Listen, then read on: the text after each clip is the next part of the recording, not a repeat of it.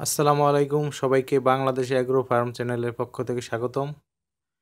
এই চ্যানেলে আমরা কৃষি সম্পর্কিত বিভিন্ন বিজ্ঞানসম্মত এবং আধুনিক ধারণা দিয়ে থাকি।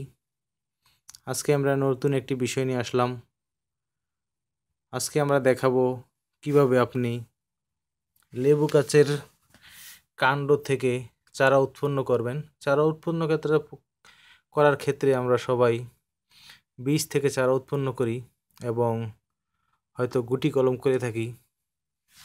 গুটি কলম করার ফলে এতে অনেক সময় নেয় গুটি কলম তৈরি হওয়ার জন্য এবং গুটি কলম থেকে গাছ উৎপন্ন হওয়ার পরে গাছ, লেবু গাছ দুই তিন বছর পরে মারা যায়। শিকড়গুলো সঠিকভাবে উৎপন্ন হয় না।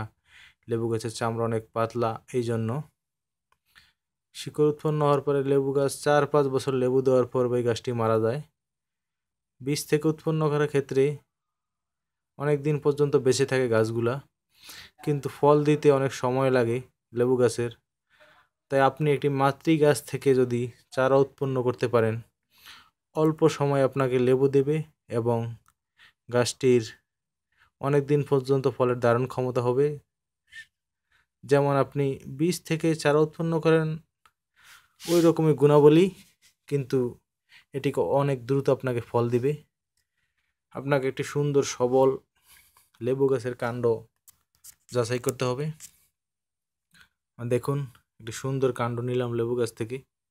সবল, সতেজ, কোনো দাগ থাকতে পারবে না। নিচের অংশটাকে মসৃণভাবে কেটে নেবেন। মসৃণভাবে কেটে নেওয়ার পরে আপনি কাণ্ডটিকে এক থেকে দুই ঘণ্টা পানিতে ভিজিয়ে রাখবেন যে কোনো একটি পাত্রে।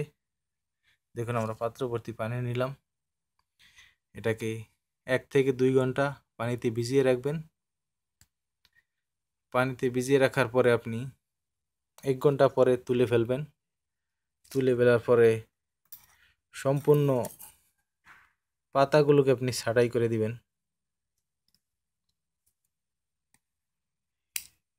এক এক করে সম্পূর্ণ পাতাগুলোকে ছাটাই করে দিবেন।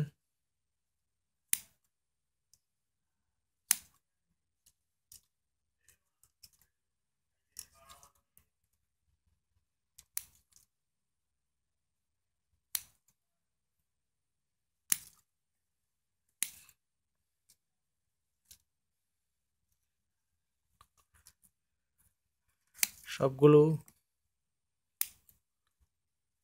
পাতা ছাটাই করার পরে উপরে দুইটি পাতা অবশিষ্ট রাখবেন। দুইটি পাতা রাখবেন অবশিষ্ট। যাতে করে সারাটা বেঁচে থাকে এবং এটার ভিতরে কিছু ময়শ্চারাইজার জমা হয়।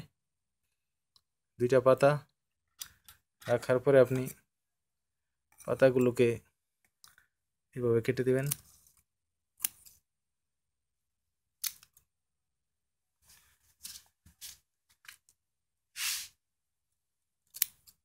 অর্ধেক থেকে কেটে দেবেন, অর্ধেক অংশ রাখবেন পাতাগুলার। রাখার পরে এটাকে, কাণ্ডটাকে আপনার কাছে যদি শিকড় হওয়ার জন্য এক হরমোন পাওয়া যায়, কিন্তু রুটিং হরমোন যদি পাওয়া যায়, তাহলে ওটাতে ভিজিয়ে নেবেন আপনি। শিকড় গজানোর জন্য হরমোনটা। যদি না থাকে, তাহলে খাঁটি মধু নেবেন।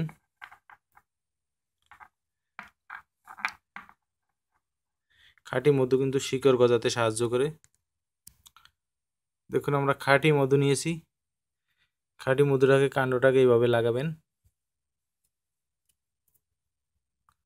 খাঁটি মধুতে গাছের শিকড় জন্মায়। মধু আপনি গাছের গুটি কলম করার ক্ষেত্রে ব্যবহার করতে পারেন এবং মধু লাগানোর পরে দশ মিনিট রাখবেন। রাখার পরে এটাকে আপনি এমনভাবে প্রতিস্থাপন করবেন যাতে মধুগুলা বিচ্ছিন্ন হয়ে না যায় গাছ থেকে। তারপরে আলতোভাবে চেপে দেবেন। আপনি পানির দেওয়ার ক্ষেত্রে খেয়াল করবেন যাতে পানি বেশি না হয় এবং শুষ্ক না থাকে। বিশেষ করে আর্দ্রতা যেন একটু বেশি থাকে, গাছটা বেশি থাকার জন্য। আর্দ্রতা থাকার প্রয়োজন। কিছু আর্দ্রতা থাকে। তারপরে আপনাকে এটাকে, এটা প্লাস্টিক ব্যাগ দিয়ে ডেকে দিতে হবে।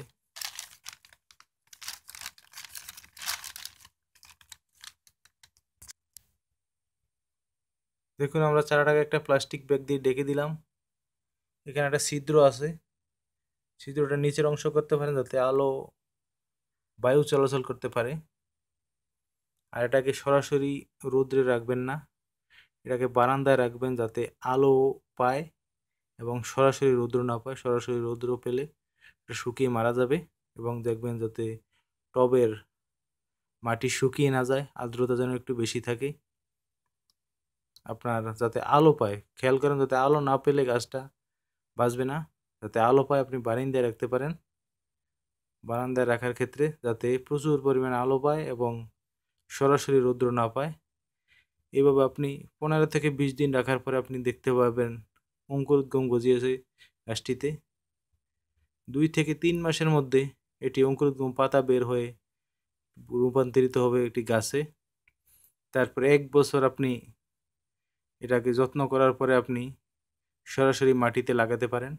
এক বছরের ভিতরে আপনার বড় একটি গাছে রূপান্তরিত হবে এবং আপনাকে খুব সহজেই ফুল ফল দেবে এটা অতি অল্প সময়ের ভিতরে, ঠিক গুটি কলমের মতোই। দর্শক, আজকে ছিল এই পর্যন্ত আমাদের লেবু গাছ কাটিং থেকে আপনারা কীভাবে চারা উৎপাদন করবেন, এ আমাদের যদি ভিডিওটি যদি আপনাদের ভালো লাগে থাকে তার লাইক করতে পারেন। আর এই সম্পর্কে যদি কোনো কমেন্ট থাকে তাহলে আমাদেরকে কমেন্ট করতে পারেন এবং পরবর্তী ভিডিওর জন্য আমাদের চ্যানেলটি সাবস্ক্রাইব করেন। আল্লাহ হাফেজ।